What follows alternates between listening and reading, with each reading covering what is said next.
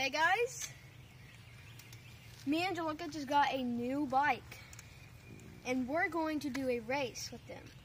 My bike is a street bike, Gianluca has a mountain bike.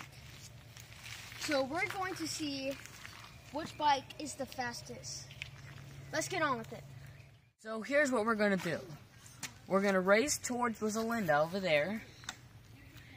And we're gonna race back to, we're gonna turn around and come back to this marker right here.